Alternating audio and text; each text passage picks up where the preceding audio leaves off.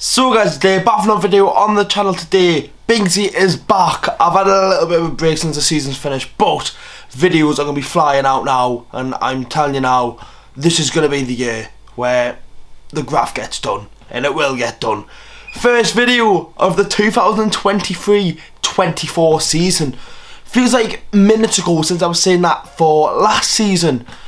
What a what a turnaround it's been at Newcastle United. Champions League football back with a beautiful brand new kit to be playing in the Champions League. Let's go now. Let's look at the kit, boys. I'm a massive fan. I am a, unreal. Absolutely unreal. It's black. The only thing about the whole kit that spoils it is the big Noon on the side, right? And apart from that, it is absolutely gorgeous. I think probably it's the best kit I've seen, probably in my lifetime of being a Newcastle fan. Probably my first proper kit was in 2010. Since then, for me, this is the best kit, and knowing that we're going to be playing our first season Champions League in this kit since 2003, unreal. Massive, massive fan. The black and white, the collar, everything about it. Like uh, this is probably my favourite Newcastle top, the one with the star on. Love this top. That's what I wore for this video.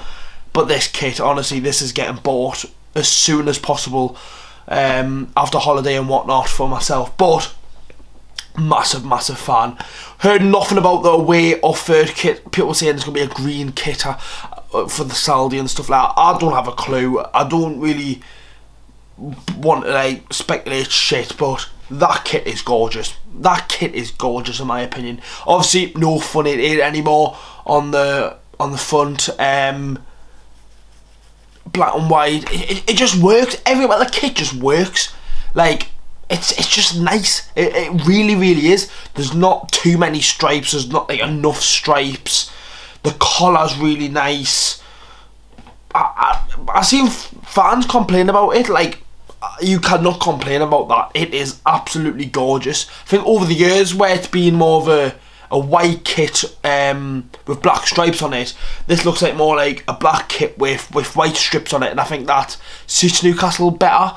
Like like even like the little things on the um on the sleeves it, it, it's gorgeous. I, I love it mate. It's absolutely beautiful. Let me know your thoughts on the kit in the comment section down below but the first video of the new season absolutely unreal. Anyways I'll see you all in the next one boys. I've got a massive video coming this weekend um which is going to get done. I'm going to get loads of videos done this weekend boys trust me trust the process. Binksy will be back. See you the next one boys. Have a good one. Head up the mags